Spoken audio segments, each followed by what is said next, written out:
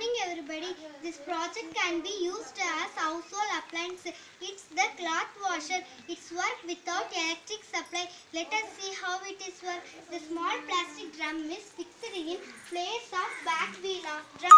The drum is fixed in horizontal position but doesn't actually move. Another drum with many holes in fixed inside the big drum to cloths. The inner drum is the one you can see when you open the lid at the top. After opening, you can fill water.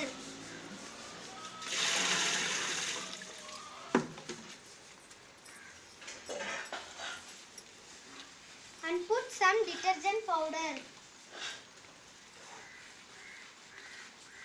Your cloths into the drum from above. There is the pedal in the middle.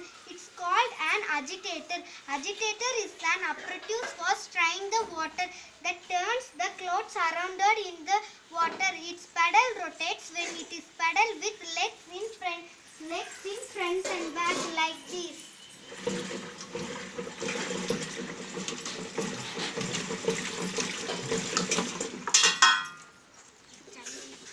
With the help of detergent, they separate the dry from your cloths, your cloths into the drum from above, it, and marvel how, how clean they are. Finally, you take your cloths and marvel how clean they are.